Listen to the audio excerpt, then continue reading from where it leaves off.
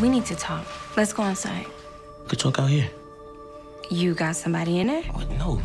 That's your girlfriend? Nah, I don't got a girlfriend. But I gotta go. Cane said you knew my Uncle Frank was a snitch. I wanted to ask you how. You sure you don't know where Dru is? You ask a lot of questions. But when did he become your concern, though? No, I'm just saying this ain't the hood, right? Cops will lock you up for driving around black out here. Detective Ramirez gave us PBA cards for situations like that. We good.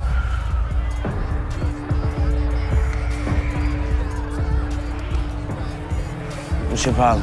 When the extra credit sign. Are you okay? Feeling better.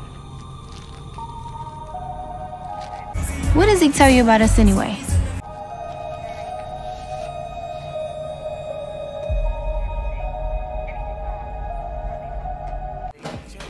Oh, well, you got soft ass knuckles. I know.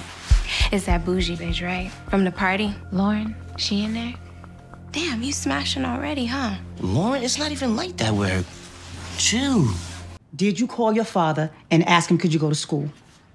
No. So then what's it like? What's it like, Tariq? I told you.